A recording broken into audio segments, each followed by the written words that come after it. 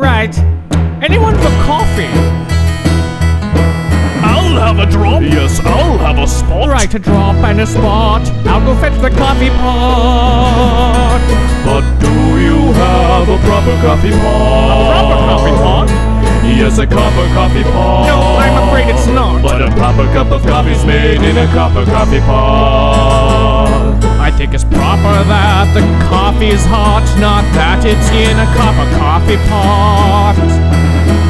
All we want is a proper cup of coffee made in a proper cup of coffee pot. You must be off your dot. We just want a cup of coffee in a proper cup of coffee pot. It's complete poppycock is what it is. I can't be bothered if it's proper, should the coffee poppy copper. I just thought I'd stop and offer you a cup of coffee while it's hot. Coffee isn't proper Unless you boiled up the water in a coffee pot of copper Well, shall I just make tea then?